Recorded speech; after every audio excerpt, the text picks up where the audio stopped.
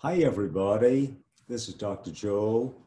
Is for those of you who missed our show yesterday, is all we said is one simple, intuitive thing that a half century ago, when I was on the faculty of a big medical school in Texas, Baylor College of Medicine, is the known extent of the, the microbiome was that there's just a lot of bacteria living in the colon.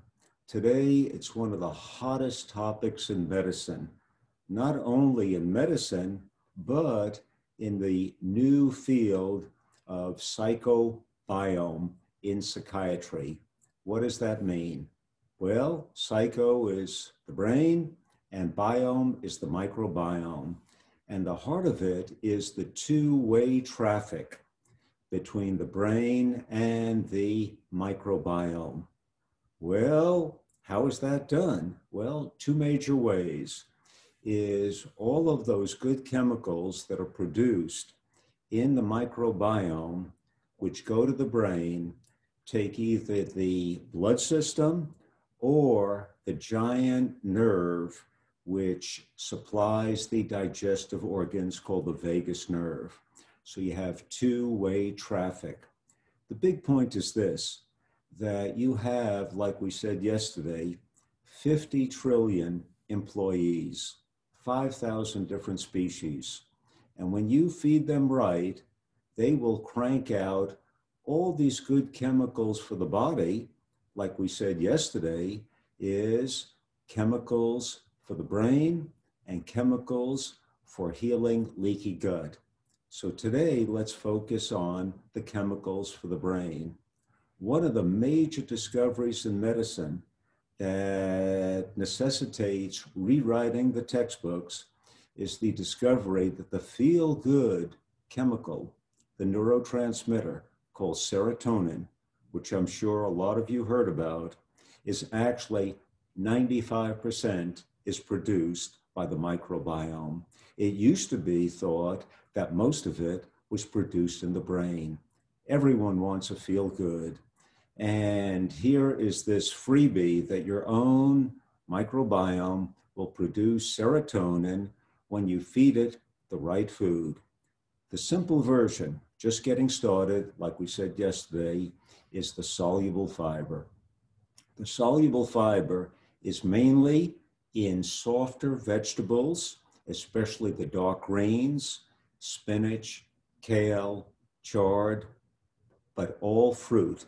And it has a special name in fruit called pectin. So is the microbiome will produce 95% of the body's feel-good chemical, serotonin. And this is a major player in helping out the two major psychiatric uh, afflictions of the world anxiety and depression. And the second big neurotransmitter that's produced by the microbiome is an amino acid called GABA, gamma aminobutyric acid. And GABA is like a natural uh, uh, sleep aid and um, your microbiome will produce the GABA, and that's basically the only neurotransmitter which puts a slowdown, a brake on the brain. So to facilitate the traffic between the brain and the microbiome is that, that really good soluble fiber. So this new field of psycho biome.